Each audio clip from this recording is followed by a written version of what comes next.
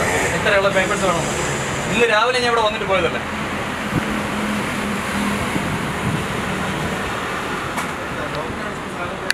ഡോക്ടറല്ല? ഞാൻ ഡോക്ടറെ വിളിച്ചിട്ടില്ല. എനിക്ക് ഡോക്ടറെ വിളിക്കേണ്ട കാര്യം ഞങ്ങൾക്ക് തരുന്ന ബില്ല് നമ്മളൊക്കെ ഇവിടെ കൊണ്ടുവന്നിട്ടുണ്ട്. കാര്യം ഞങ്ങൾ തന്നെ ഇ എസ് ഐ എന്ന് പറയുന്നത് ഞങ്ങൾ ജോലി ചെയ്യുന്നത് നമ്മൾ എടുക്കുന്ന ഒരു പേയ്മെന്റാണ് അല്ലാതെ ഞാൻ ഗവൺമെന്റിൽ നിന്ന് ആരെയും നമ്മൾ മേടിക്കുന്ന പൈസ അല്ല. അപ്പോൾ നിങ്ങൾ ചെയ്തതിന്റെ കടമ നിങ്ങൾക്കുള്ളതാണ്.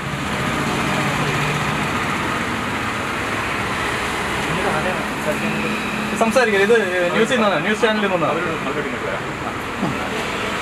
സംസാരിക്കും.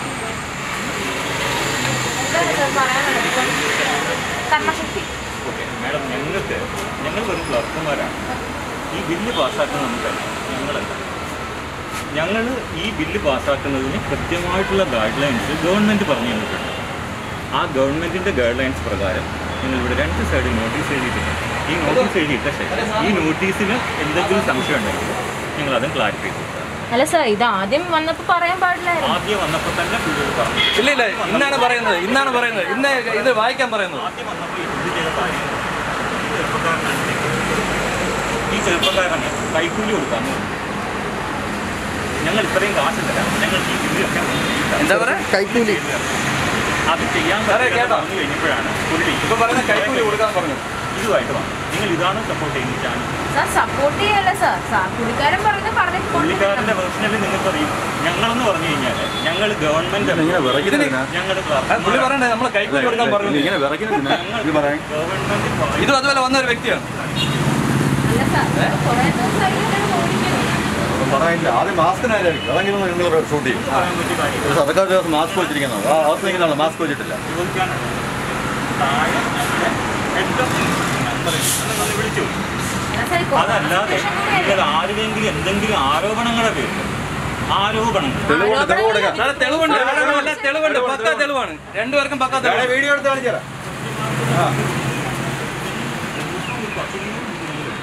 അവരുടെയൊക്കെ കൃത്യമായിട്ട് ഞങ്ങൾ കഴിഞ്ഞ വർഷം തന്നെ നാൽപ്പത്തിനാല് ലക്ഷം ഡോളർ റീഇംബേഴ്സ്മെന്റ് കൊടുത്തു തരുവാണ്. ഞങ്ങൾക്ക് ഞങ്ങൾക്ക് കിട്ടാനുള്ള സാധനം ഞങ്ങൾക്ക് ബില്ല് തരുമ്പോൾ ഈ എല്ലാ പ്രോട്ടോക്കോളും അതേപടി പാലിച്ച് തരുവാണെങ്കിൽ ഞങ്ങൾ കൃത്യമായി സാർ ഈ ഈ കോവിഡ് സമയത്ത് എന്ത് പ്രോട്ടോകോളാണ് സാർ പറയുന്നത്? എന്ത് എന്ത് പ്രോട്ടോകോളാണ് സാർ പറയുന്നത്? ഇത് ജനങ്ങൾക്ക് സാധിക്കുന്ന കൂടെ പറയണ്ട സാറേ. ഈ ഈ കോവിഡ് സമയത്ത് ഹോസ്പിറ്റലെല്ലാം കിടന്ന് ഡോക്ടറുടെ ബാക്കിൽ എല്ലായിടത്തും കിടന്ന് അലയാൻ പറ്റും പറയേണ്ടത് പറഞ്ഞു അതുമേട്ട് ഞാൻ പറഞ്ഞ ഒമ്പത് ദിവസം ഇനിയിപ്പം ലോക്ക്ഡൗണാണ് പുറത്തിറങ്ങാൻ പറ്റില്ല. നാളെ മുതൽ ആരംഭിക്കുക.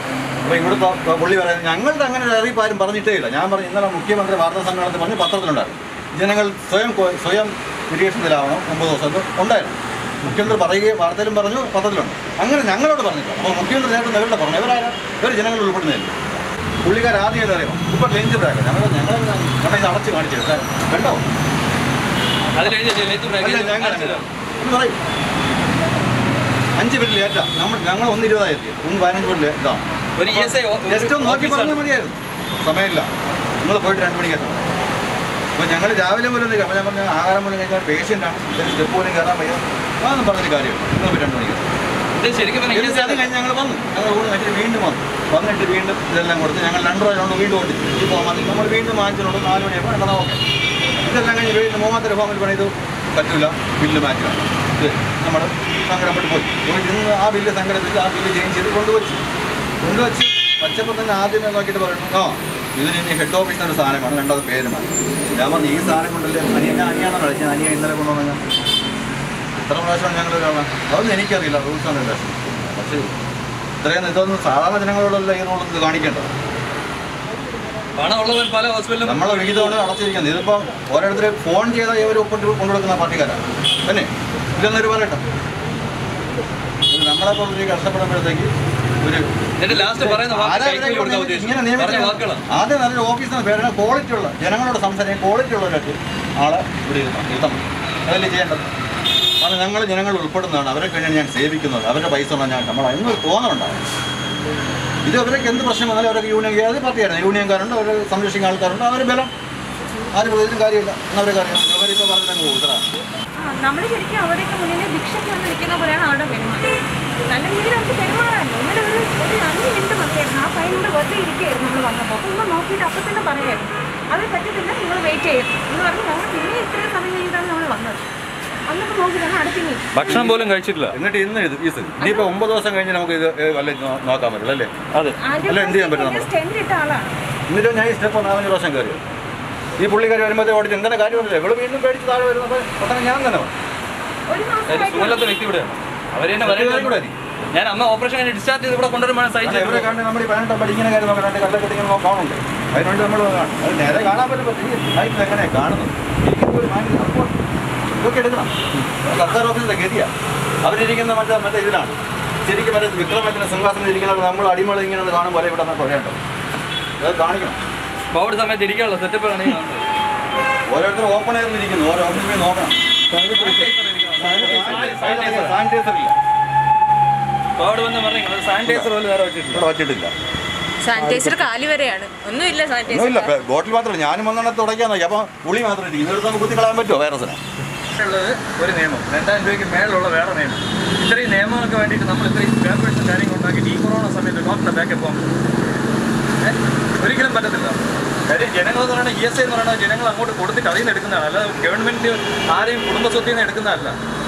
നമ്മളെന്ന് പറയുന്നത് നമ്മൾ ജോലി ചെയ്യുന്നത് വരുമാനത്തിൽ നിന്ന് തുച്ഛമായുള്ള വരുമാനം അവരെടുത്തിട്ട് അതിൽ നിന്നാണ്. എല്ലാ വർഷവും ജോലി ഈ ജോലി അസുഖം വന്ന് ആരും പൈസ മേടിക്കുന്നില്ല. എന്തെങ്കിലും ആക്സിഡന്റ് പറ്റിയോ അല്ലെങ്കിൽ പാവപ്പെട്ടവർ കിട്ടുന്ന പേയ്മെന്റാണ് അത് ചിലപ്പോൾ ഒരു ഓപ്പറേഷൻ പെട്ടെന്ന് പറയുമ്പോഴത്തേക്കും അപ്പുറത്തെ വീട്ടിൽ അപ്പുറത്തെ വീട്ടിൽ കടം മേടിച്ചായിരിക്കും വരുന്നത്.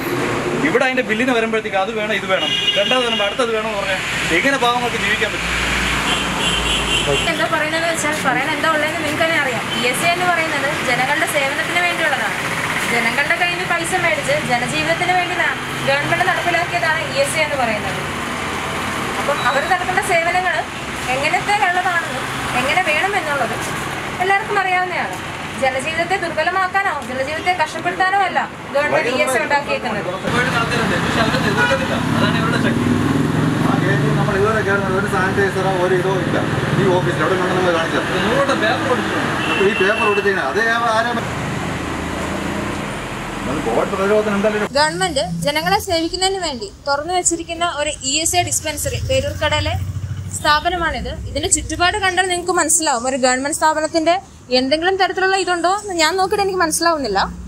അതുപോലെ തന്നെ കോവിഡ് പ്രോട്ടോകോൾ നോക്കിയാണ് പലരും ചെയ്യ- ചെയ്യുന്നതെന്ന് പറയുന്നു ഇവിടെ. ഇവിടെ കോവിഡ് പ്രോട്ടോകോൾ നോക്കിയാണെങ്കിൽ ഇവരെ രണ്ട് രണ്ട് മൂന്ന് ദിവസമായിട്ട് അങ്ങോട്ടും ഇങ്ങോട്ടും കിടന്ന് ഓടിക്കുകയാണ്. ഓരോ സ്ഥലത്ത് കയറി ഇറങ്ങുക ഓരോ സ്ഥലത്ത് പോയി ഒപ്പിടുക വാങ്ങിക്കുക. ഈ കോവിഡ് സമയത്ത് ഇവർക്കത് പറ്റുമോ? പോരാത്തതിന് സാർ ഒരു വയ്യാത്തൊരാളാണ് ഓപ്പറേഷൻ കഴിഞ്ഞിരിക്കുന്ന ആളാണ്. ഈ വയ്യാത്തൊരു സാറിനെ ഈ കോവിഡ് സമയത്ത് അങ്ങോട്ടും ഇങ്ങോട്ടും മറ്റും ഓടിച്ച് ഗവൺമെന്റ് നടത്തുന്ന പ്രവർത്തനങ്ങളാണ് E S A dispensary Peroorkada നടക്കുന്നത്. അപ്പോൾ ഇവരുടെ വിഷമം എന്താണെന്ന് ഇവരോട് തന്നെ നമുക്ക് ചോദിച്ചറിയാം. എന്താണ് മാം പറയാനുള്ളത് മാമിന് ആദ്യ ക്ലാസ്സിൽ കഴിഞ്ഞതാണ്. സ്റ്റെൻഡ് ഇട്ടിട്ടുള്ളതാണ്. നമ്മളിവിടെ കാണിക്കുന്നുണ്ട്. അതിൽ ഒരു ഇൻസുലിന്റെ ഒക്കെ പുറത്തുനിന്ന് വാങ്ങിച്ചതിന്റെ ക്ലെയിം കൊടുക്കാനാണ് വന്നത്. അപ്പോൾ ഇന്നലെ അത് വന്നു. ഇന്നലെ നമ്മളിവിടെ ഒന്ന് ഡോക്ടറെ കാണിച്ച് എല്ലാം കഴിഞ്ഞ് ഒരു- ഒന്ന് ഇരുപതായപ്പോഴത്തേക്കാണ് നമ്മൾ മുകളിൽ പോയി ഫയൽ കൊടുക്കാൻ വേണ്ടി പോയപ്പോൾ ആ ഒരു പയ്യൻ അവിടെ ഇരിപ്പുണ്ടായിരുന്നു.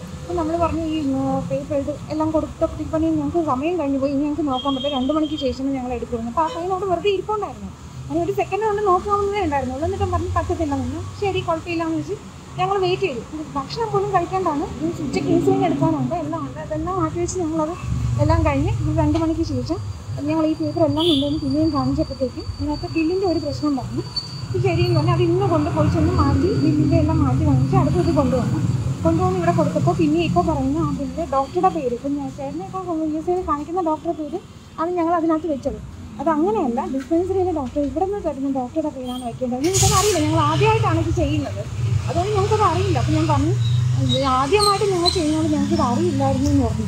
എന്നിട്ട് അത് പറ്റില്ല. നിങ്ങൾ ഇത് മാറ്റിയേ പറ്റുള്ളൂ. പിന്നെ നിങ്ങൾക്ക് മെയിൻ ഓഫീസിൽ പോയിട്ട് വേറെ പേപ്പർ വാങ്ങിക്കാനുണ്ട്. ഈ പേപ്പർ പറഞ്ഞു. അത് വാങ്ങിച്ചുകൊണ്ട് വന്നാൽ മാത്രമേ ഈ ക്ലയൻസ് കൊടുക്കാൻ പറ്റത്തുള്ളൂ.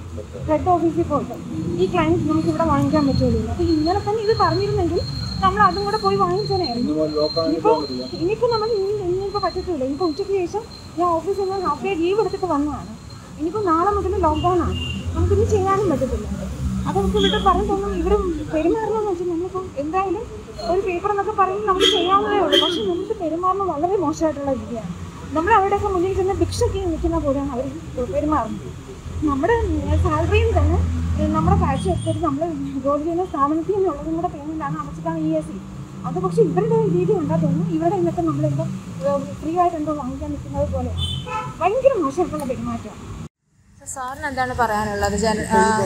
അനുഭവങ്ങളെല്ലാം ചെറിയ എനിക്ക് പിന്നെ അവരുടെ ഒരു താൽക്കാലിക ഓഫീസ് മേളിലാക്കിയാണ് നമുക്ക് പെട്ടെന്ന് രോഗികൾ കയറി പോകേണ്ട അവസരമാണ് ചെയ്തിരിക്കുന്നത് ഷെയറൊക്കെ എന്നിട്ട് ഞാൻ വലിയ കയറി സംഭവം എന്ന് അറിയാൻ വേണ്ടി പോയി. പോയപ്പം പറഞ്ഞ ഇപ്പം പറയുന്നതെന്ന് പറഞ്ഞാൽ ഈ സംഭവം ഇങ്ങനെയാണ്. ഇനി തൈക്കാട് ഹെഡ് ഓഫീസിൽ നിന്ന് ഒരു റെക്കമെൻഡേഷൻ ഇട്ടുണ്ട് അതുകൂടെ നിങ്ങൾ വാങ്ങിക്കൊണ്ട് വരണമെന്ന് ഇത്രയും ആയിട്ട്. അപ്പോൾ നമ്മളെല്ലാം അവർ പറഞ്ഞെല്ലാം എത്തിച്ചു. അപ്പം അപ്പം ഞാൻ അങ്ങോട്ട് പറഞ്ഞപ്പോൾ നാളെ മുതൽ ഇപ്പം ലോക്ക്ഡൗൺ പ്രഖ്യാപിച്ചിരിക്കുകയാണ്. ഈ അവസ്ഥയിൽ നമുക്ക് പോകാൻ ഇത്രയും ദൂരം പോകാൻ അതുപോലെ ഓഫീസ് കാണുമോ മറ്റൊന്നും അതുപോലെ നമുക്കറിയില്ല. ലോക്ക്ഡൗൺ ആണെങ്കിൽ നമ്മളിവിടെ ഓഫീസിലില്ല ലോക്ക്ഡൗൺ ഒന്നും ഇവിടെ ആരും ഞങ്ങളോട് പറഞ്ഞിട്ടില്ല. അപ്പോൾ ഞാൻ പറഞ്ഞു അതെനിക്കറിയില്ല. പക്ഷേ ഇന്നലെ മുതൽ മുഖ്യമന്ത്രിയുടെ ന്യൂസിലും പത്രത്തിലും ഒക്കെ ഞാൻ ലൈവ് കേട്ടതാണ്. മുഖ്യമന്ത്രി പറയുന്നതും കേട്ടു. അല്ല പത്രത്തിലുണ്ടായിരുന്നു. നിങ്ങൾ ജനങ്ങൾ സ്വയം ലോക്ക്ഡൗൺ സ്വീകരിച്ചിരിക്കുക എന്ന് ഒരു പ്രഖ്യാപനം. അപ്പം നമ്മൾ അനുസരിക്കാൻ ബാധ്യസ്ഥരാണെന്ന് എന്റെ വിശ്വാസം. അത് നിങ്ങൾക്ക് ബാധകമല്ലെന്ന് എനിക്കറിയില്ല. ഞങ്ങളോട് അങ്ങനെ ആരും പറഞ്ഞില്ല നമ്മൾ ഓക്കെ പറഞ്ഞിട്ടില്ലെങ്കിൽ വേണ്ട. ഇവരിപ്പോ എന്താണ് പറയുന്നത് അവർ പറയുന്നത് നമ്മളിപ്പം അവർ പറയുന്നത് ഇനിയും നമ്മൾ ഇപ്പോൾ ഈ പറയുന്ന സാധനങ്ങളെല്ലാം കൂടെ കൊണ്ടുവന്നാൽ അവർ നോക്കാമെന്ന്. നോക്കാമെന്നേ പറഞ്ഞിട്ടുള്ളൂ. അപ്പോൾ നോക്കി പിന്നെ ഒബ്ജക്ഷൻ നമുക്ക് നമുക്കറിയില്ല. കൊണ്ട് കാണിച്ചില്ലേ കാണിച്ചു മൂന്ന് പ്രാവശ്യം വീണ്ടും കാണിച്ചു. അപ്പൊ പറഞ്ഞു? അപ്പോൾ പറയുന്നത് ഇതും കൂടെ കൊണ്ടുവന്നിട്ട് നമുക്ക് ഫൈനലൈസ് ചെയ്യാം. അടുത്തൊരു വ്യക്തിയാണ് ഈ ചേട്ടൻ. ഇവിടുത്തെ ജനങ്ങളെ ബുദ്ധിമുട്ടിക്കുന്ന അവസ്ഥയ്ക്ക് വേറൊരു ദൃക്സാക്ഷിയും വേറൊരു അനുഭവസ്ഥനും എന്നൊക്കെ നമുക്ക് പറയാം.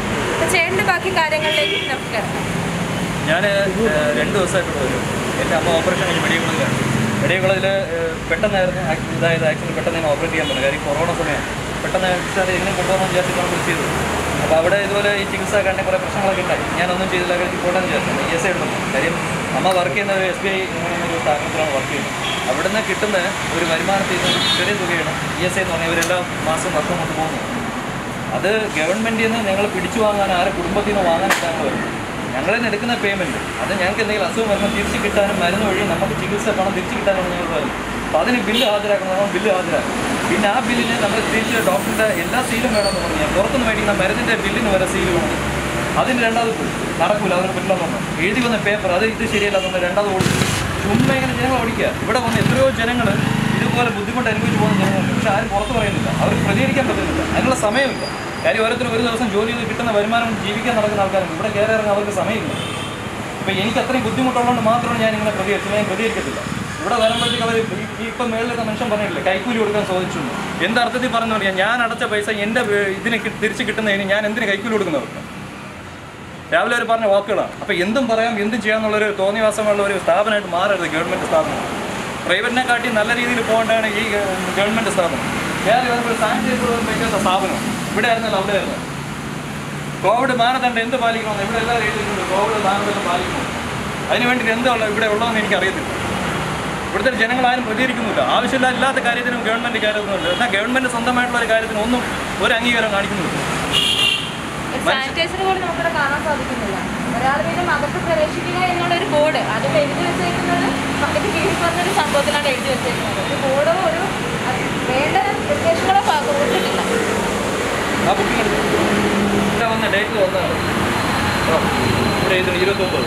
ഇതിൽ വന്ന ഡേറ്റ് സൈത് ഇതിൽ എഴുതിയിട്ടുണ്ട്. സമയം ഡേറ്റ് ഇതിൽ എഴുതിയിട്ടുണ്ട്.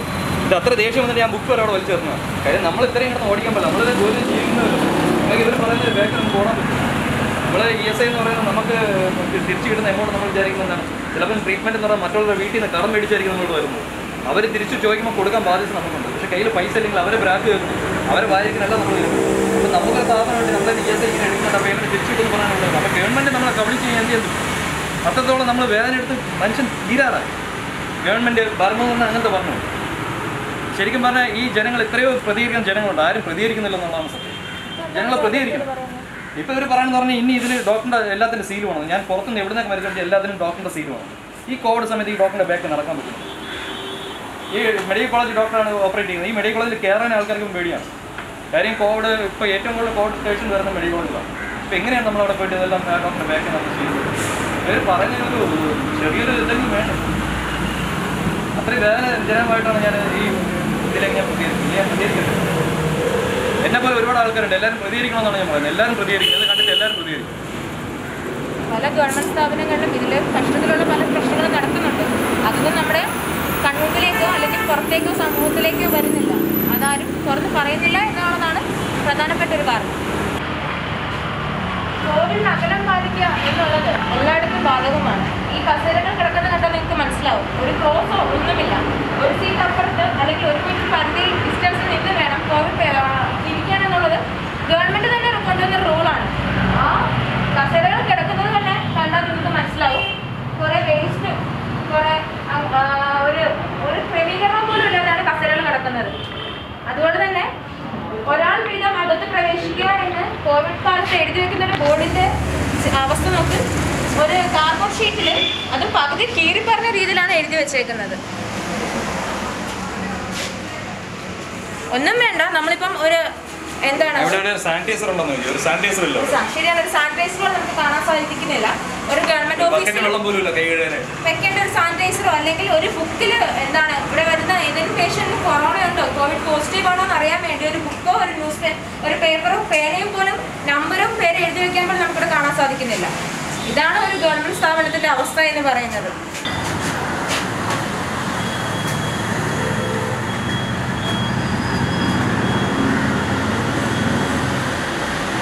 വിശാലിന്ന് വരുവാണ് കർമ്മശക്തി എന്ന് പറഞ്ഞാൽ ചേച്ചി ഇവിടെ സാനിറ്റൈസർ ഉണ്ട് മോൾ സാനിറ്റൈസർ പോലും വെച്ചിട്ടില്ല ഒരു ഗവൺമെന്റ് സ്ഥാപനത്തിൽ ഉള്ള കാഴ്ച കാഴ്ചകളല്ലോ ചേച്ചി ഇവിടെ കാണുന്നത് ഞങ്ങൾ? സാനിറ്റൈസർ നോക്കി വെച്ചു ചേച്ചിക്ക് തന്നെ അറിയാം? മാസ്ക് വെച്ചേക്കുന്നത് നമ്മുടെ ജീവൻ രക്ഷിക്കാൻ വേണ്ടിയല്ലേ? അതുപോലെ തന്നെ കാര്യം ഗ്ലൗസ് ഇടുന്നത് നമ്മുടെ ജീവൻ രക്ഷിക്കാൻ വേണ്ടിയല്ലേ? അപ്പൊ അതിനേക്കാൾ അത്യാവശ്യമുള്ള സാധനങ്ങൾ സാനിറ്റൈസർ എന്ന് പറയുന്നത്.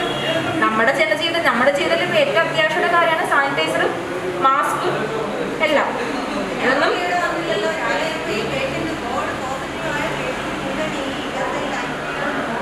ഓക്കെ ചേച്ചി കോ ആ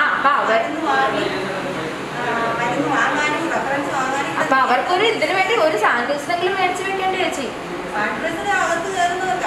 മുകളിലേക്ക് പോകുന്നവർക്കാണ് മുകളിൽ സാനിറ്റൈസർ ഇല്ല ഞങ്ങൾ ഷൂട്ട് ചെയ്തിട്ടുണ്ട്. എം ടി സാനിറ്റൈസർ ആണ് മുകളിൽ കിടക്കുന്നത്. അതുപോലെ തന്നെ ഒരു കോവിഡ് ഓഫീസ് കിടക്കുന്നതാണ്. ഒരു ഒരു ഒരു വൃത്തിയില്ലാതെ വൃത്തിയില്ലാതൊക്കെയാണ് പുറത്തുതന്നെ ചേച്ചി ഇറങ്ങി നോക്കി ചേച്ചിക്ക് കാണാമല്ലോ ചേച്ചി ഇവിടെ വർക്ക് ചെയ്യുന്നില്ല. ഇപ്പൊ ചേച്ചിക്ക് ഇവിടെ ചേച്ചി തന്നെ പറഞ്ഞു ഇവിടെ കുറെ പോസിറ്റീവായ ആൾക്കാർ വരുന്നുണ്ടെന്ന്. അവർക്ക് അവരുടെ നിന്ന് ചേച്ചിക്ക് കേട്ട് ചേച്ചി എവിടെയൊക്കെ പോകുന്നുണ്ട്? അറിയാൻ പറ്റുമോ ചേച്ചിക്ക്? ഇല്ലല്ലോ. പരാതി നിയന്ത്രിക്കാനുള്ള മാർഗങ്ങളും വേണ്ട ചേച്ചി ഇവിടെ.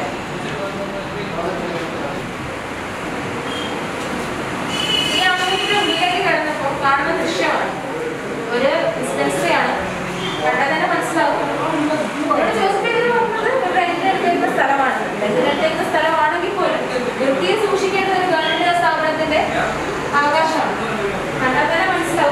ഈ എത്ര വരെ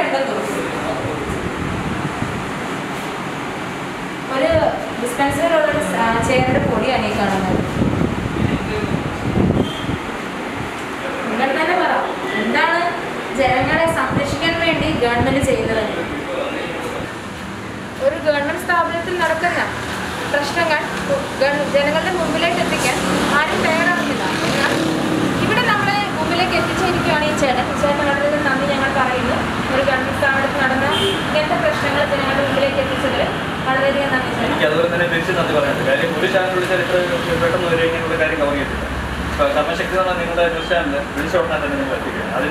ഞാൻ അങ്ങോട്ട് താങ്ക്സ് ഉണ്ട്. കാര്യം ഞാൻ മാത്രമല്ല എന്നെ പോലെ ഒരുപാട് ജനങ്ങളുണ്ട്. എല്ലാവരും അത് അറിയും. ഇത് എല്ലാവരും അറിഞ്ഞ് അവർ മനസ്സിലാക്കും. ഇങ്ങനെ സംഭവം എല്ലാ ഗവൺമെന്റും ഇതിൽ നടക്കണമെന്ന് ഞാൻ മനസ്സിലാക്കും. അതിനുവേണ്ടി മാത്രമേ ഞാൻ വേറെ ഞാൻ അനുഭവിച്ച കാര്യമാണ് ഇന്ന് ഇന്ന ബാക്കിൽ നമുക്ക് നടക്കാൻ പറ്റും ജോലികളാണ്. ഇന്ന് ഇന്ന് ഇന്ന ബാക്കിൽ നടക്കാൻ പറ്റും. ഓരോ ജനങ്ങളും ഉണ്ട്. അവർ പ്രതികരിക്കുന്നത് എനിക്കിത്രയും പറയാം നിങ്ങൾക്ക് വളരെയധികം താങ്ക്സ് നന്ദി. നമസ്കാരം.